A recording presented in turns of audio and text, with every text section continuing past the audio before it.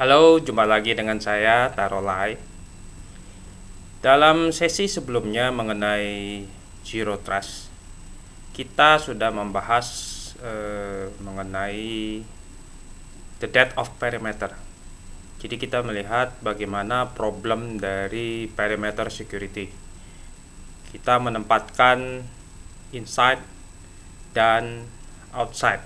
Jadi ada dua dikotomi dan bagaimana kita melihat bahwa konsep inside dan outside ini dengan adanya two party fallacy tidak bisa uh, melindungi uh, terhadap aset-aset digital kita. Nah, dalam sesi yang kedua ini kita akan membahas bagaimana uh, konsep zero trust sampai kepada yang kita sebut dengan micro segmentation.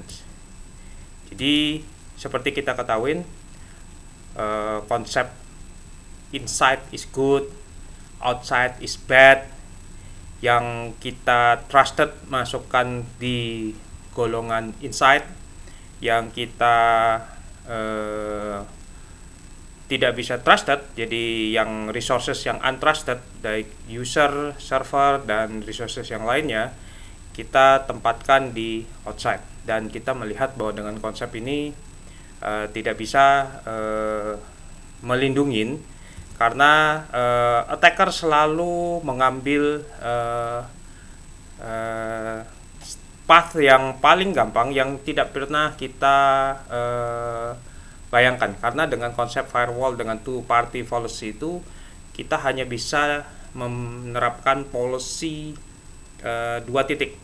Dari satu ke dua uh, polisinya apa? Tetapi tidak bisa uh, melakukan uh, policy yang dari satu kedua ketiga dan seterusnya secara uh, beruntut jadi uh, attacker selalu memanfaatkan uh, policy kelemahan dari policy dari uh, two party ini dengan melakukan chain of command jadi dalam session sebelumnya uh, saya sudah menunjukkan bagaimana attacker mau ke database uh, tetapi dia bisa uh, melakukan uh, apa uh, penipuan melalui web server dulu atau melalui dari sisi uh, mail server. Jadi uh, bagaimana kita melindungi itu dengan konsep itu? Apakah kita menambahkan uh, solusi baru? Apakah uh, kita menambahkan WAF, uh, eh, IPS, IDS kita udah menambahkan banyak sekali point solution di perimeter network. Dan ternyata juga masih belum. Karena apa pun yang kita terapkan dalam uh, point solution yang kita masukkan dalam perimeter, uh, perimeter network selalu jatuh kepada policy dari uh, uh, two party jadi dari titik A ke titik B jadi kita harus memikirkan uh, suatu strategi baru. Nah, then it come with the concept zero trust yang uh, awal. Jadi kita udah tahu bahwa uh, point solutions is not the answer. Kita nggak mungkin lagi nambahkan sesuatu uh, solusi di perimeter security. Nah, uh, kenapa kita kita bisa uh, melakukan uh, penambahan dari sisi perimeter security itu? Kak, itu sebabnya uh, titik permasalahannya itu adalah dari sisi arsitektur uh, perimeter security itu sendiri. Jadi kita harus uh, membongkar uh, redesign dari sisi uh, arsitektur security-nya kita yang sudah bertahun-tahun uh, kita gunakan dan uh, sekarang dengan perkembangan yang sudah uh, demikian uh, pesat adanya cloud computing, adanya user yang uh, mobile dan sebagainya, konsep uh, perimeter security is not working anymore. So we need to redefine the architecture itself. Nah, prinsip dari uh, zero trust itu sebetulnya sangat sederhana dan uh, zero trust adalah suatu uh, strategi. Jadi bukan lagi point solutions, bukan lagi uh, some kind of firewall, some kind of uh, IPS, some kind of uh, WAF dan sebagainya. Jadi bukan bukan di situ lagi. Jadi uh, zero trust adalah suatu strategi dan eh, konsep inside and outside sudah usang Jadi sudah tidak ada lagi yang uh, konsep suatu boundary yang trusted. Is not there anymore. Karena batasan sudah nggak jelas lagi yang disebut insight. Kalau dulu karyawan kerjanya di dalam kantor, uh, network kantor dan sebagainya, sekarang uh, karyawan sudah di mana-mana. Sudah dengan kondisi pandemi ini sudah uh, ada kebanyakan boleh dibilang sudah mobile, sudah di mana-mana. Dan aplikasi sendiri pun juga hmm, bukan monopoli semuanya ada di dalam uh, lingkungan uh, corporate. Karena sekarang udah ada di cloud, ada di provider. Banyak sekali uh, secara ekonomis aplikasinya itu pun juga tidak diletakkan di dalam uh, data center uh, corporate dan konsep data centernya itu sendiri pun juga udah mulai kabur bukan lagi di data center bayangannya kita itu adalah di dalam suatu insight yang uh, secara fisikal tapi juga insightnya pun juga insight sudah secara logical udah di mana-mana dan mungkin kita udah nggak tahu lagi secara fisikalnya itu ada di mana dan user dan aplikasi seperti saya sebutkan tadi itu sudah di mana-mana. Jadi user itu uh, bukan melulu uh, dari sisi uh, internal saja, tetapi juga user juga berdasarkan dari sisi eksternal. Let's say uh, mobile banking. Mobile banking itu bukan melulu uh, suatu bukan melulu aplikasi yang serve kepada internal user. Is most uh, boleh bilang sebagian besar digunakan oleh customer which is not insider dari corporate. Jadi udah uh, pihak luar. Jadi aplikasi dan usernya pun juga sudah ada di mana-mana. Jadi ini yang perlu kita uh, tekankan konsepnya itu. Nah, dengan background seperti itu, usernya ada di mana-mana, aplikasinya di mana-mana, uh, konsep uh, insight itu udah nggak ada lagi. So everybody is everywhere jadi everybody dan everything sudah uh, di everywhere. Jadi uh, konsep pertama dari sisi zero trust itu adalah uh, karena disebut uh, zero trust, so trust no one, trust uh, nothing arti uh, sebetulnya.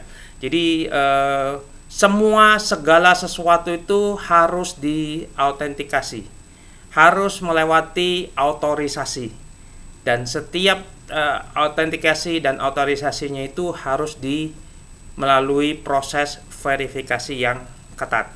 Karena kita pengen tahu, uh, ingat kalau dari uh, sesi pertama itu saya sebutkan dari sisi konsepnya zero trust itu adalah dari sisi uh, bagaimana uh, kita tahu uh, usernya ini siapa uh, dan dia mau mengakses apa, lalu juga dia uh, berada di device yang seperti apa dan di network yang mana dan sebagainya. Jadi termasuk locationnya juga. Nah, inilah konsep dasar dari sisi uh, zero trust itu sendiri. Jadi uh, konsep uh, zero trust yang uh, paling awal itu adalah mengontrol network flow antar aset. Jadi uh, siapa yang harus connect ke mana dan sebagainya. Jadi network flow-nya yang dikontrol. Dan itulah konsep utama dari micro segmentation. So, kita akan lihat uh, konsep uh, kita bongkar ya arsitekturnya yang dari sisi uh, perimeter security sebetulnya kurang lebih uh, kita berawal dari beranjak dari uh, kondisi perimeter security. Jadi masih ada uh, internet, masih ada uh, uh, DMZ ataupun uh, tempat penempatan server-server, lalu ada resources-resources yang terdalam dari sisi user. Nah, Uh, tetapi sekarang uh, konsep ini uh, harus dibayangkan ini bukan jangan dilihat lagi dari sisi sebagai uh, inside and outside tapi this is just a a segment of network inside a network which is a big network. Jadi bukan lagi uh, monopoli dari sisi uh, customernya. Jadi bukan monopoli uh, resources dari sisi uh, corporate. Jadi ini lihat dari sebagai sesuatu uh, uh, big picture-nya dari suatu network yang raksasa. Nah, kita bisa bayangkan uh, konsepnya ini uh, ada aplikasi banyak, ada finance application 1, 2, 3 dan seterusnya. Lalu juga ada HR application dalam contohnya ini ya, saya kasih uh, dua contoh aja. Jadi uh, the application could be uh, uh, anything bisa finance, bisa HR, bisa ERP, bisa whatever. Nah, usernya pun juga terbagi atas user-user dari sisi finance, uh, user yang mengakses dari sisi resource ya itu. Nah, uh, karena kita udah lagi nggak bisa membagi, uh, membagi atas uh, inside and outside uh, karena secara arsitektur is, is totally wrong. Jadi kita bongkar. Sekarang yang dimaksud dengan pembagian segmentasinya itu bukan dari sisi inside outside lagi tapi segmentasinya dibagi atas uh, kelompok resources. Jadi ada kelompok kita anggap sebagai servicesnya. Jadi ini adalah application finance. Jadi ini adalah uh, suatu segmentasi aplikasi finance. Ini adalah uh, aplikasi untuk SR-nya. Maka uh, kita membentuk suatu segmentasi uh, untuk applications uh, SR-nya dan seterusnya. Demikian juga dengan sisi usernya. User-user segmentasi yang mengakses uh, finance, segmentasi yang mengakses uh, SR dan sebagainya, kita melakukan segmentasi uh, berdasarkan dari sisi uh, applications dan juga dari sisi user ya. Jadi uh, kalau kita melihat di sini uh, dari arsitektur ini posisinya uh, internet posisinya aplikasi, posisinya si aplikasi uh, finance, aplikasi SR, aplika, uh, juga posisinya si user dari user kelompok finance, kelompok SR dan sebagainya posisinya setara. Jadi kita tidak melihat lagi ini outside atau inside dan sebagainya. So every uh, segment uh, apa uh, posisinya adalah setara, which is uh, setiap posisi itu adalah diperlakukan untrusted I trust nothing, I trust nobody. So dari satu segmen har, uh, punya suatu setiap segmen punya polisinya apa pun yang masuk dari situ harus di authenticate, harus di authorize, harus di validate. Jadi kita akan melihat segmentation segmentationnya seperti ini. Nah, uh, looks good, uh, kelihatannya uh, cukup uh, uh, sudah lumayan bagus dari sisi arsitektur ini dari tadinya cuma uh, perimeter security lalu sekarang uh, antara inside dan outside sekarang uh, inside-nya udah hilang so everything dia kita anggap sebagai outside so because uh, we trust nothing. Karena kan kalau dulu ada konsep inside-nya itu karena we uh, kita menempatkan itu sebagai trusted. Sekarang every uh, everybody is untrusted. So semuanya setara di dalam kondisi eksternal. So uh, looks good. Tetapi uh, kita juga lihat ada kondisi shared resources. Si user yang di sini di finance mungkin juga dia harus mengakses beberapa services yang di user SR. Ada beberapa uh, user SR pun juga mungkin juga dia perlu akses ke uh, aplikasi dari sisi finance. Atau kita uh, melihat juga ada shared resources misalnya aplikasi finance dan aplikasi SR sebetulnya shared resourcesnya dengan Oracle DB. Jadi ada satu uh, sistemnya uh, database Oracle yang di dalam uh, database Oracle ini diakses oleh aplikasi finance dan juga diakses oleh aplikasi SR. So bagaimana dengan hal itu? Jadi kita mungkin ada suatu uh, Oracle DB yang harus di uh, di Oracle DB itu digunakan oleh uh, finance. Ada juga uh, Oracle DB-nya itu jadi uh, ada Oracle DB yang bisa ada digunakan juga di aplikasi uh, eh, SR. So jadi uh, ada set resources yang antara uh, dua aplikasi yang digunakan dan kita menempatkan si Oracle DB-nya itu di mana gitu loh. Makanya kita menempatkan si Oracle DB-nya itu sebagai another segmen lagi sebagai suatu segmen yang trusted. So we build more and more and more dari sisi segmentationsnya. Jadi ada segmentation. Jadi uh, segmentation ini uh, kita akan melihat bahwa makin makin kompleks dan kita menerapkan suatu policy aksesnya di situ bahwa dari sisi aplikasi uh, finance uh, application satu boleh mengakses Oracle DB. Uh, finance uh, aplikasi SR yang kedua boleh uh, mengakses uh, Oracle uh, DB-nya. Jadi kita melakukan allow ini boleh ke sana dan sebagainya hanya berdasarkan dari sisi segmentation dan setiap segmentation itu akan ada customize lagi. Dan hal ini Tentu saja dengan proses yang seperti ini kita tidak bisa lagi menempatkan suatu VLAN dari per segmentation itu. Jadi VLAN itu udah udah kalau kita menerapkan kalau biasanya kan kalau kita pakai uh, pada saat di perimeter security kita bisa menggunakan uh, konsep VLAN. Tapi sekarang ada adanya uh, resources itu VLAN jadinya suatu uh, hal yang akan sangat ribet lagi dan ini baru kita asumsi baru dengan user dan resources yang ada di dalam corporate network. Remember, uh, corporate network sekarang perlakuannya dengan uh, external network itu sama dengan just as a segment. So uh, akan ada juga user-user yang ada beberapa application yang mungkin di cloud, adanya yang finance ataupun SR yang didapatkan di cloud dan juga ada user-user yang memang akses dari eksternal juga, tetapi ini internal user dan mereka aksesnya dari eksternal network. Nah, jadi ini konsepnya itu makin makin ribet lagi. Jadi ada ada user-user yang mungkin uh, orang finance-nya lagi duduk di uh, cafe, lalu juga ada uh, orang SR yang perlu kerja aksesnya ke situ uh, ke ke uh, resource uh, SR-nya, tapi dia lagi berada di airport dan sebagainya. Jadi makin uh, segmentasi ini kita akan makin ribet me, apa memanfaatkan apa membagi policy untuk akses ya dan biasanya kita menggunakan uh, jadi akan uh, seperti jaringan laba-laba. Jadi kita akan melihat juga adanya suatu VPN masuk ke sini dan dari VPN ini yang dari eksternal ini masuk ke VPN masuk ke firewall ini dan juga melakukan akses ke masing-masing jadi si user in, uh, masuk ke sini juga harus VPN. Yang uh, resource yang di luar itu juga nanti kita membangun suatu jaringan VPN-nya juga di dalamnya di situ. Jadi mulai uh, mulai kebayang ya uh, kompleksitasnya itu. Jadi uh, makin uh, kusut dari sisi jaringannya itu dan makin banyak segmentation which is will, will grow bigger bigger bigger tentunya juga membutuhkan suatu computing power jadi kita akan uh, dari sisi firewallnya juga aksesnya makin uh, besar, makin uh, meledak, makin uh, gemuk gitu kan.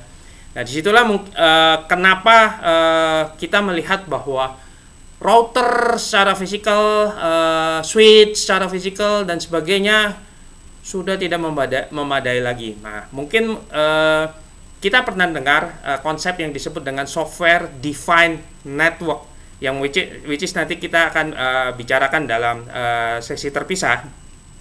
Karena kalau kita ketahui uh, konsep yang seperti ini, firewallnya makin gede-gede gitu, kita mau pakai firewall yang sebesar apa, potnya mau sebesar berapa dan berapa uh, biayanya tentunya juga akan makin bengkak. Makanya uh, kita membutuhkan suatu uh, point solution yang baru lagi which is yang akan kita bicarakan uh, dengan sesi terpisah mengenai software defined network dan juga network function virtualization. Kita akan bicarakan di session yang terpisah. Nah, jadi uh, konsep microsegmentation ini, jadi uh, yang saya sebut sebagai uh, zero trust versi 1 ini uh, akan menghadapi uh, banyak uh, masih akan menghadapi banyak kendala. Kenapa? Uh, segmentation makin makin grow, makin banyak. Jadi infrastruktur shared infrastructure makin berkembang, uh, touch point-nya juga belum juga uh, IaaS-nya dari uh, infrastruktur as uh, uh, services. Jadi kita juga infrastrukturnya uh, bukan lagi dari sisi data center kita, tapi mungkin juga kita mulai uh, apa uh, subscribe tentang uh, infrastruktur di di cloud lalu juga menghadapi dari sisi mobile workforce dan tentu saja yang paling pusing itu adalah dari sisi maintenance-nya. Jadi akan ada eh, pertanyaan lagi bahwa e, dengan Microsoft Integration itu implementasi makin kompleks, makin kusut dengan makin berkembangnya itu. Dan e, security itu juga akan sangat profesional dengan e, complexity. Makin kompleks, makin susah juga dari sisi e, pengamanannya. Jadi kita akan uh, bicarakan hal ini di session uh, selanjutnya mengenai Zero Trust 2 di mana kita move the identity dan akses itu semua ke internet. So every yang tadinya uh, apa uh, kita pembagian dari sisi uh, inside dan outside sekarang semuanya dianggap outside dan uh, di segmentasinya de, uh, dianggap seimbang. Nah, dengan zero trust kedua ini kita akan moving lagi ke uh, uh, level yang lebih tinggi. Jadi kita akan move uh, identity dan aksesnya ke arah ke internet dan sudah tidak ada parameter. Jadi uh, user bisa di, da, mengakses dari mana saja, termasuk juga dari sisi uh, resources dan itu membawa konsekuensi authentication menjadi sesuatu yang sangat-sangat krusial dan network based access sudah tidak bisa memadai lagi. Jadi uh, demikian dari sesi kedua uh, dari Zero Trust uh, series ini kita akan uh, bicarakan lagi mengenai uh, Zero uh, Zero Trust uh, versi 2 di sesi selanjutnya. Terima kasih uh, untuk uh, partisipasinya. Jadi silakan uh, subscribe uh, ke uh, Instagram uh, lain saya dan juga uh, di YouTube-nya. Semoga bisa berguna.